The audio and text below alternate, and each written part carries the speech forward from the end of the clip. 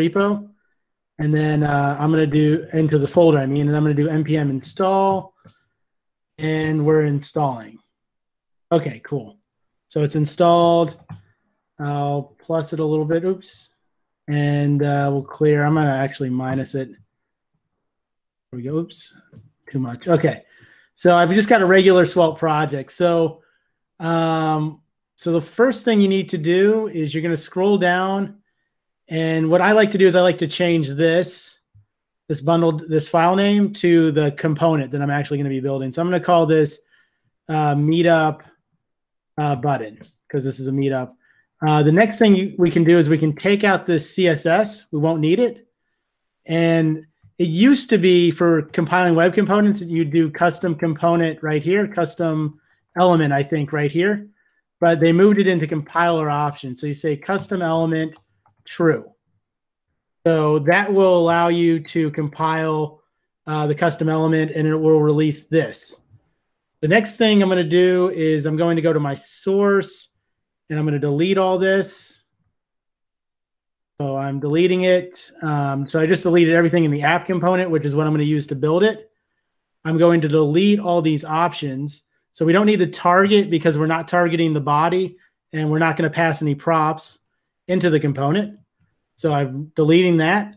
Um, and then the next thing I'm going to do um, is I'm going to go into my public folder, into my index.html, and I'm going to delete this uh, bundle build bundle.css, and I'm just going to include my meetup button.js file.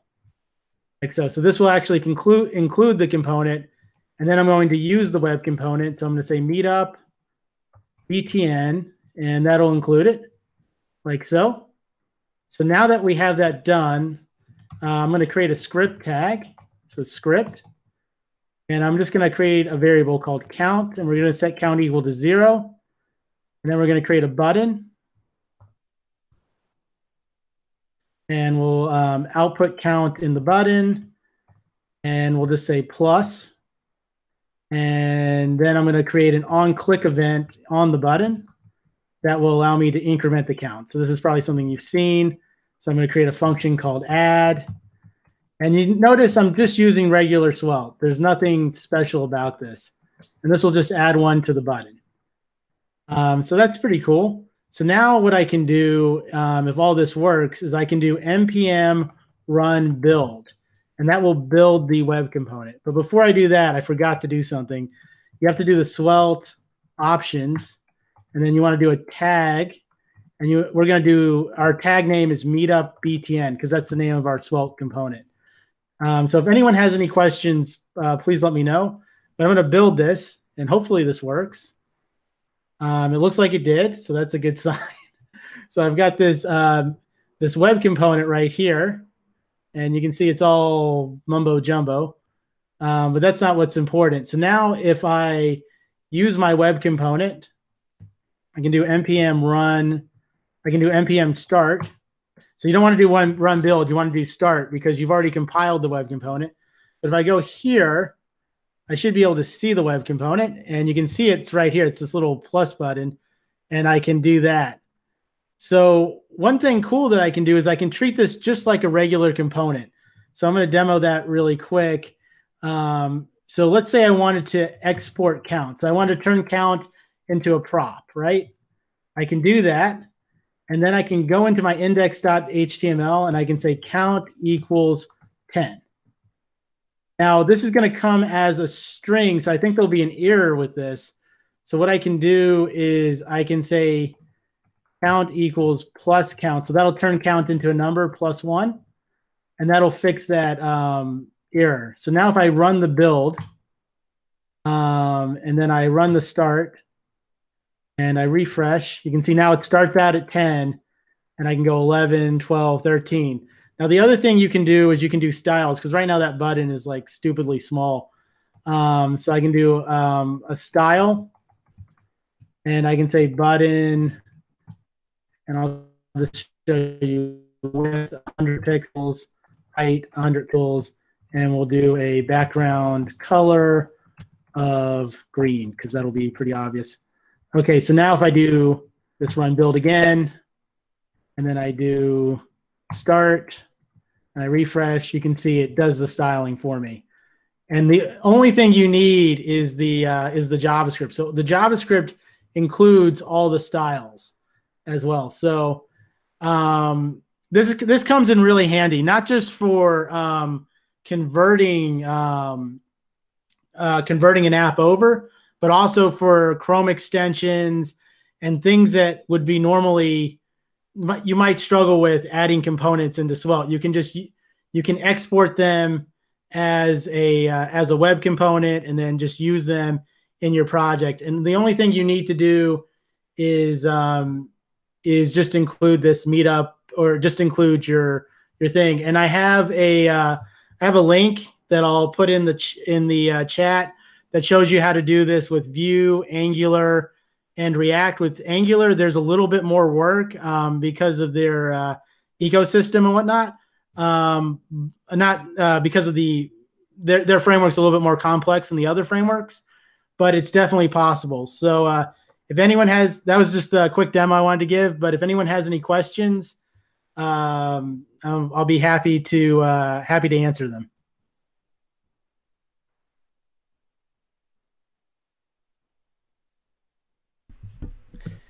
So you said, you know, obviously when you're converting uh, projects that have web web components, that's how you do it. Do you use web components in your regular projects pretty often? Um, not not too often. Um, I'm using them right now in a Chrome extension I'm building. Hmm. So um, rather than like using uh, Svelte to build the Chrome extension, or like if you want to insert a Svelte object dynamically in the page, uh, you can use it there. Um, so I, I, I do use them a little bit, um, but not not super not super often. I, I, I think I was talking to some people um, at the last meetup, and a lot of people wanted like a way to use Svelte, but not um, not go nuclear mm-hmm. on their projects. So this was uh, this was kind of the uh, kind of the kind of uh, a way of doing it, I guess you could say. Cool. Cool, cool. But yeah, um, I'll okay. So yeah, so I'll I'll post that link um really quick. But yeah, if um, but yeah, if anyone has any questions or or comments um on anything, uh, anything Svelte related, uh, or any any comments to Jim, uh, please please go ahead and go for it. And uh, yeah, I'll be yeah, we'll we'll be here for the next uh, ten or fifteen minutes. I'm getting that link uh, right now. Yeah, this is this is the link um, going over how to uh, do that, and there's a video with um, uh, uh, demos as well, and code demos as well. So feel free to take a look, and if you have any questions, like I said, I'll be happy to answer. okay.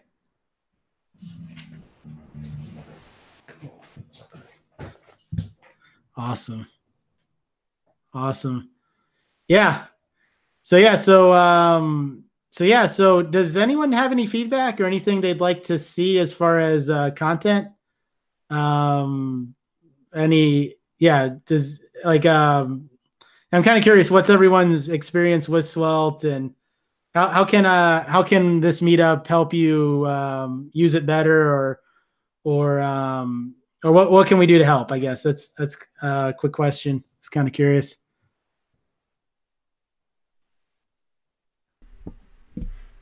I have a question, I guess. Um, unless yeah, else has, has it like so I know um, you know the much anticipated SvelteKit uh, coming out in the near future. Has anybody had a chance to play with that or experiment around with it? Is it is it even public? I'm not even sure if you're able to, but I'm just curious if anyone's touched that yet.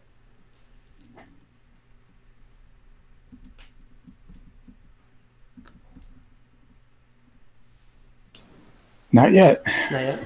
Okay. No. Hey Noah, um, I do think um, there's a JavaScript LA meeting, and I think it kind of overlaps with the same time slot, but um, it's a pretty large group, and they kind of invited the world. Um, oh. might want to advertise there to look for viewers and maybe think about like shifting the schedule just slightly because I think I've signed up twice before and haven't attended, but uh, uh, this one was really good.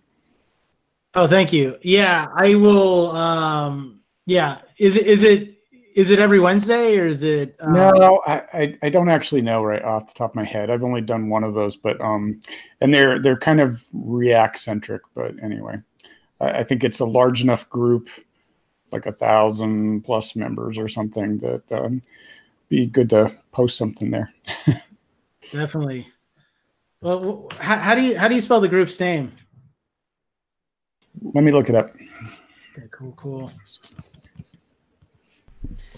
We actually also run a, a Jamstack meetup out here in Boston. Um, so if Noah or anybody who's in this Svelte stuff is interested in at talking there or, or even like, you know, coming and saying hi and, and even, you know, talking about this meetup to, to get some cross pollination, we're always open to that. We like, I think we're in, in similar spaces. Obviously, Svelte doesn't have to be all Jamstacky, but um, it definitely can be. So if anyone's interested in that, come chat with us. Um, it's a pretty good and, crew. And uh, yeah, po- post a link for sure if, if you don't mind. Sure. That'd be great. Yeah. I missed the real meetups, but this is great. Yeah. Yeah. It's I don't know. it's just the way it is. But we'll get back to normal soon enough, whenever that is. And Jim, that stuff that just blows me away. I'm excited to go look some more at Plenti. Oh, awesome! I'm so glad you like it.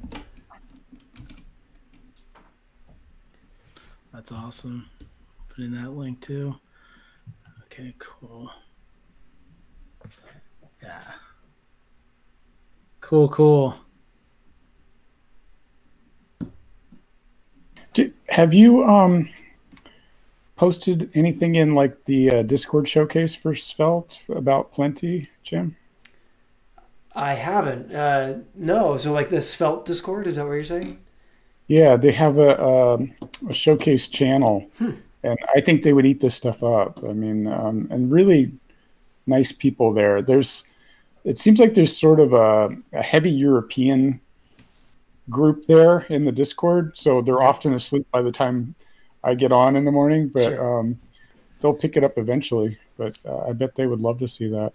Awesome. Yeah. No, that that's great. Yeah. I, sometimes I don't really know how to like get it out there or whatever. So it's always good to, to know about channels like that. Um, I'll take a look. Yeah. There's one guy too. Um, uh, let me look up his name, but it's he goes by like swyx or something. He's um, oh, he's in New York. Yeah. Yeah. So he's he's always looking for ways to promote uh, Svelte. So he's, uh, and I think he's working for Amazon now. So yeah, I, I brainstormed with him like really early, like I can't remember. I was I was Twitter DMing with him like way back, just with ideas about how Plenti could work, and um, he was like super open about like you know, just chatting and, and, figuring things out. So, but I haven't put it on his radar in a while, so maybe I should reach out to him again. They, they seem super friendly and like they were really psyched that that uh, that JavaScript um, survey came out uh, for 2020, and Svelte got number one in most uh, interest and most satisfaction today. So that was kind of cool. Yeah, that is really cool. I didn't plan to try to join the cool kids, but you know, yeah, no, I, I mean I'm all in on Svelte these days. Obviously, uh, building Plenti, but like it just for me is just such a simple way of approaching some of this stuff, and I I just love the feeling like getting back to the basics, like getting back to the, the roots of HTML, CSS, and JavaScript, even if it's not really that behind the scenes. It feels like it is, and I I know I really like it. Well, thanks a bunch, and I look forward to future meetups. So, yeah, thanks, thank, Noah. Thanks, Noah. Thank you. All right, so that uh, I think that concludes uh, this uh, month's uh, meetup, um, and uh, yeah, um, uh, definitely send me an email, um, abj uh, ajc web dev, and and we'll we'll get you booked for the next month or whenever it works for you, and um, I will I'll catch you all soon. Okay, see you later.